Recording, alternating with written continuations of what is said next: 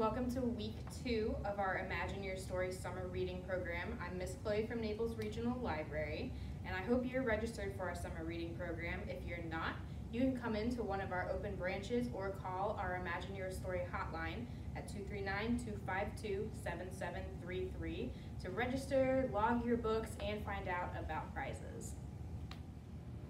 My theme this week is Knights and Castles. Now, if you've come to visit me at Naples Regional Library, you've probably seen our very own castle that we have constructed in my storytime room. And if you haven't come to visit me, you should come and take a look.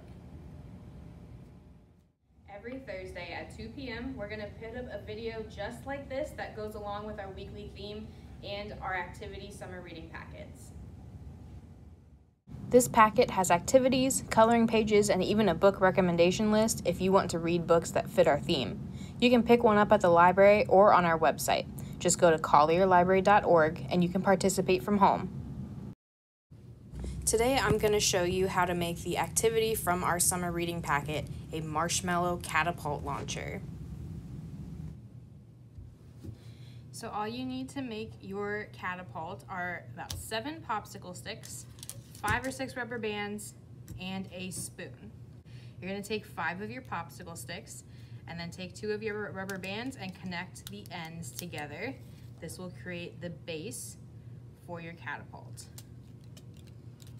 Now, the other two popsicle sticks are gonna go in between the base, just like so, so that you can create the springboard. So what you have to do is take more rubber bands and connect the bottom, put these two together,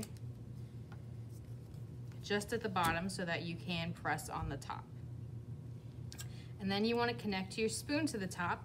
Make sure that the bowl of the spoon is on top of the popsicle stick. And then you're just gonna wrap as many rubber bands around as it takes to secure it to the popsicle stick. So there you have it, your very own catapult that you can make at home. Now remember, when you're making this at home, don't use anything heavier than a marshmallow. Remember, the rules of chivalry state that when you're a knight, you cannot do anything that is dishonorable, like sneak attack with your catapult. Except for right now.